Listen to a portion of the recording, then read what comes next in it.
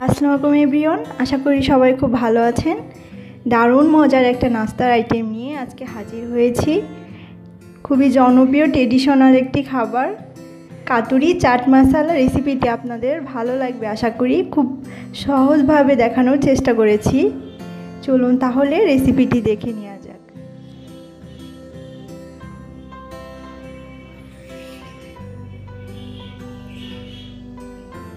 আমি এখানে নিয়েছি এক কাপ ময়দা বা আটা নেওয়া যাবে। চামচ লবণ এবং আধা টেবিল চামচ তেল একসাথে ভালোভাবে মিশিয়ে পরিমাণ মতো পানি দিয়ে নর্মাল পরোটার মতো একটি খামির তৈরি করে নিব। এবার ঢেকে দশ পনেরো মিনিট রেস্টে রেখে দিব সেট হওয়ার জন্য।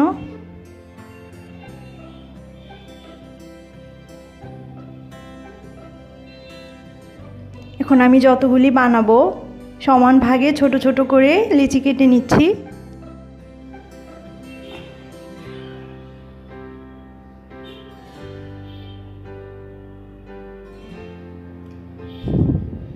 বাকিগুলো ঢেকে রাখব এবং এরকম পাতলা করে একটা রুটি বেলতে হবে।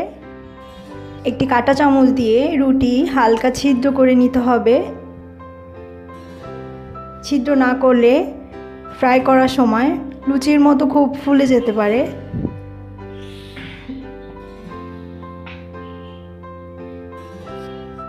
এখানে লাগছে ছোট একটা স্টিলের বাটি। যে কোনো ধরনের ছোট বাটি নিলে হবে। স্টিলের বাটি নিতে হবে একটু ছোট সাইজের।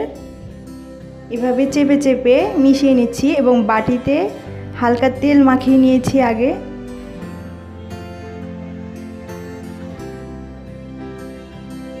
এবং বাড়তি অংশগুলো এভাবে হাত দিয়ে ছিঁড়ে নিচ্ছি।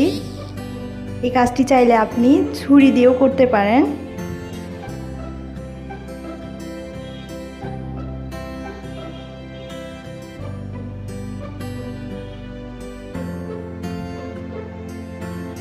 এখন কড়াইতে তেল গরম হয়ে এলে আমি দিয়ে দিচ্ছি বাটি সহ তেলটা বেশি নিতে হবে।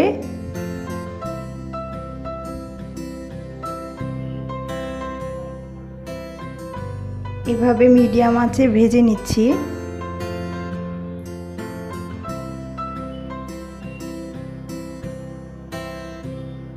এবং কিছুক্ষণ পর বাটি থেকে রুটি আলাদা হয়ে আসবে।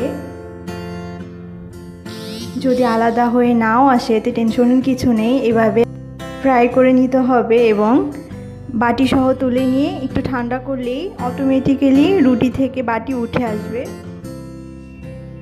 আমি এখন একটু উল্টিয়ে দিব।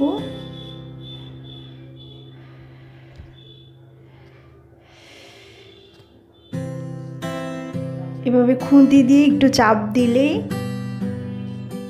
এটা আলগা হয়ে আসবে বাটি থেকে। দেখতেই পাচ্ছেন কত ইজিলি উঠে এসেছে। এভাবে আমি গোল্ডেন কালার করে ভেজে নিচ্ছি।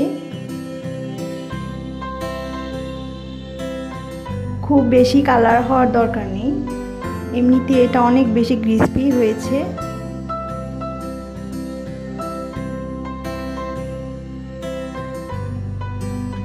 এ পর্যায়ে আমি তুলে নিচ্ছি।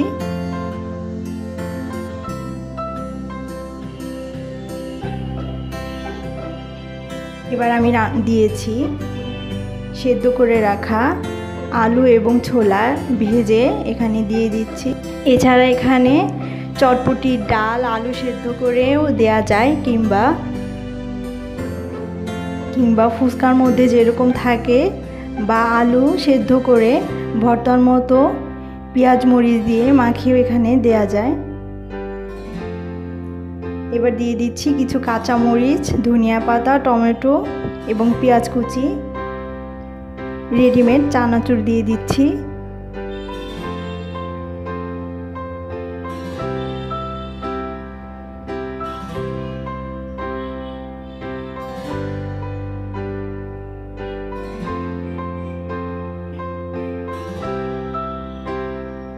এবার আমার লাগছে দই বা দইয়ের বদলে মেয়নিজও ব্যবহার করা যায়। কীভাবে খুব সহজেই ঘরে মেয়নিজ তৈরি করা যায় এই রেসিপি আমার চ্যানেলে পেয়ে যাবেন। এবার দিয়ে দিচ্ছি টমেটো সস।